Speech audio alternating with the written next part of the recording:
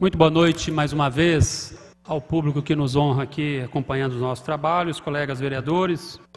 Apenas para deixar registrado de forma muito clara nossa posição, já fizemos isso pela rede social, onde ao lado da saúde, maior, as maiores reclamações dizem respeito ao sistema de transporte coletivo de passageiros de Maringá. É lamentável como a administração não se preocupa em fazer o óbvio, que é priorizar o transporte coletivo. Hoje, a priorização está para o carro.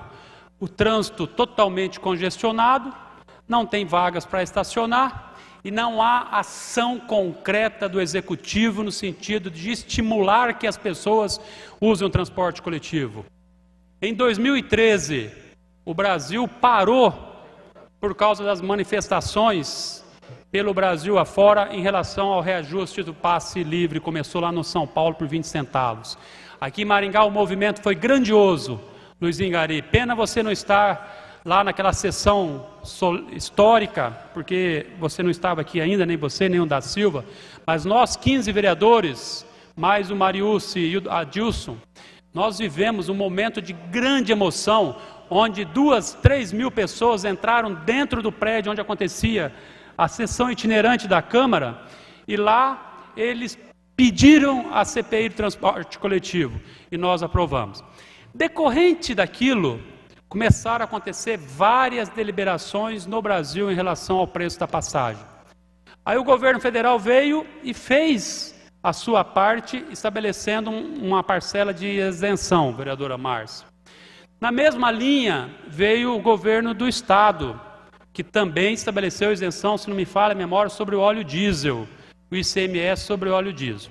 E aí nós, na Câmara, começamos a conversar e a tratar com a secretaria, com a prefeitura e com a empresa. A Câmara era uma intermediária para saber o que também a Câmara poderia fazer para que a passagem não fosse reajustada mais naquela época. E aí nós, naquele momento, concordamos, não me lembro como foi a votação, mas a Câmara aprovou a isenção do ISS para que a passagem não aumentasse. Certo? Então está acontecendo. Agora era preciso nova pactuação. O que a administração está alegando é que se não tiver a isenção, ela vai aumentar mais 10 centavos. Mas não é também assim as coisas. Porque para aumentar existe uma fórmula matemática. Essa fórmula matemática está no contrato de concessão do serviço de transporte coletivo. Não é a empresa protocolar um pedido e a prefeitura tem que sair correndo atender.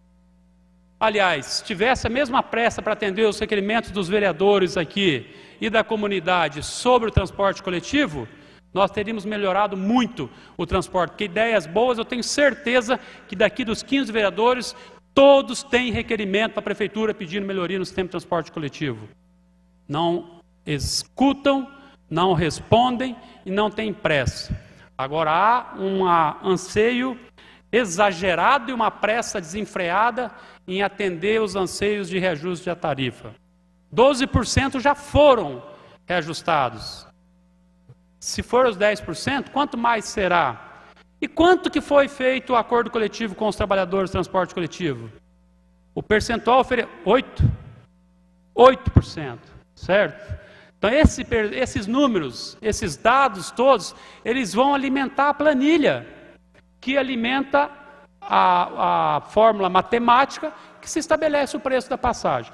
Então, é, nesse momento, o meu voto é contrário, por vários aspectos, porque não é simplesmente renovar a isenção. Nós precisamos de conversar. Quais foram os números? Qual é o impacto dessa isenção? Ela está prevista nesse reajuste? Se não estivesse prevista no reajuste de 12%, por que, que a prefeitura reajustou sem ao menos falar para a Câmara?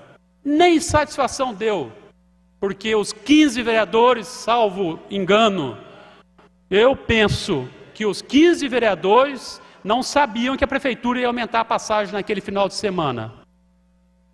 Não sei se os 15, mas eu, eu acho que a grande totalidade não sabia. Nós ficamos sabendo pela uma manchete do diário. Certo? Mas a prefeitura sequer informou à Câmara que ela ia reajustar em 12%. Nem satisfação deu. Aí depois acordaram, aí depois lembraram: ah, não, tem mais a isenção. Um assunto tão sério. Por que, que não chamou o Poder Legislativo, sentou e discutiu de forma clara, de forma transparente, com a intervenção do Ministério Público? Porque esse assunto do transporte coletivo não dá para tratar só no Executivo, e nem só no Legislativo, porque já foi judicializado o tema. A nossa CPI do transporte coletivo, ela produziu excelentes frutos.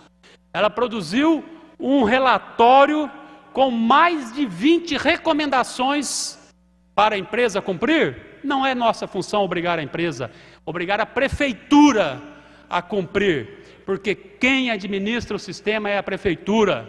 Quem muda ponto de ônibus é a prefeitura.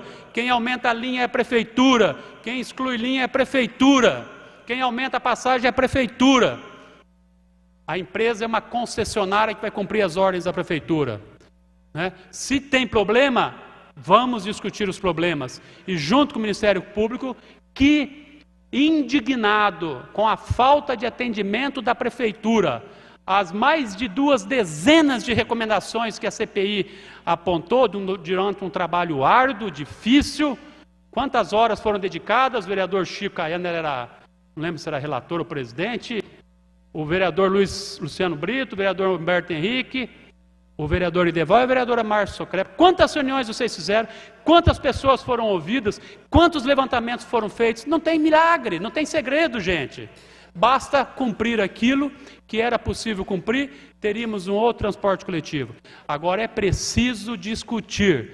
Não é possível que a prefeitura faça o que ela bem pretende, sem ao menos ouvir e sem ao menos ter o respeito com o poder que é o poder dos poderes, que é o legislativo. É aqui que sai a lei.